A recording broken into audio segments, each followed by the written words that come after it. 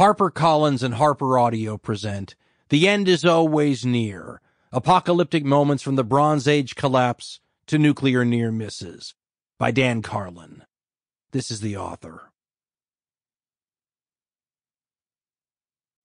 A note before we begin. Don't forget to download the accompanying enhancement PDF for a list of further reading materials from your audiobook provider, or go directly to www.harpercollins.com slash audio slash end is always near. Preface Do you think that modern civilization will ever fall and our cities will ever lie in ruins?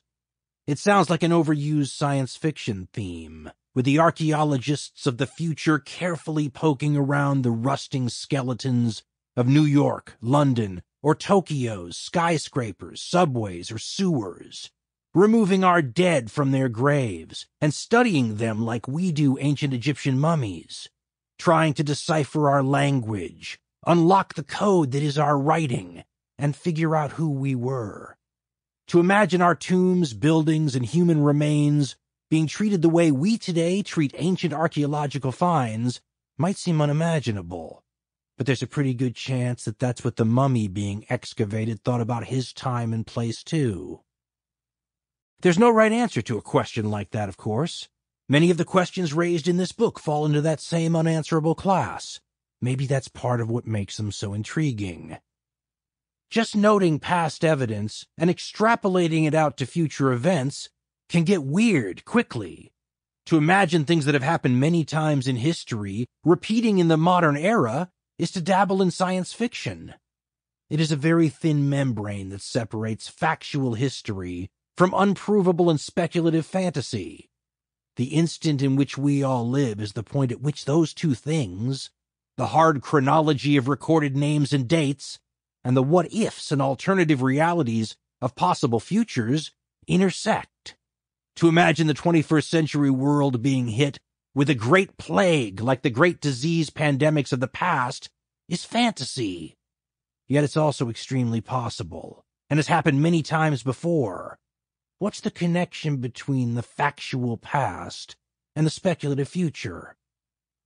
I'm told that any conventional book should answer questions, or should at least provide an argument. If that's true, this will not be a conventional book.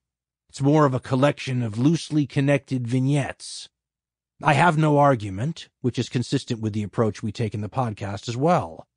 My approach is that of a non expert, for that is what I am. Historians, political scientists, geographers, physicists, sociologists, philosophers, authors, and intellectuals in general have all weighed in over the eras on all the sorts of issues we ponder in this book, each doing so using their own methods and viewing them through their own eras, specialties, and cultural lenses. While a modern geographer might cite global historical analogies to make an argument about a civilization falling, or a physicist provide the math to determine the likely probability of a dark age creating asteroids striking Earth, the approach of a storyteller or journalist is to look at the human angle. This is also the job of the historian. Often journalism and history have a somewhat interconnected, symbiotic relationship as journalists write of current events, and then historians mine their work later as primary sources.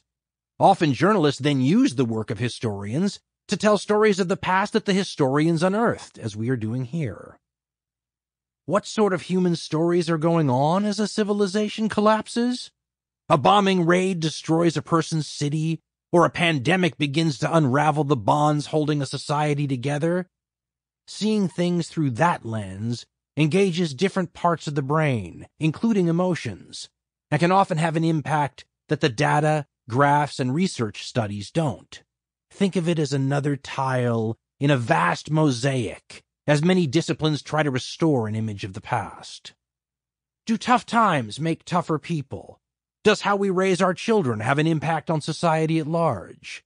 Can we handle the power of our weapons without destroying ourselves? Can human capabilities, knowledge, and technology regress? There's a very Twilight Zone sort of element to such ideas, with subtle, and sometimes not so subtle, overtones that seem to speak to our present times.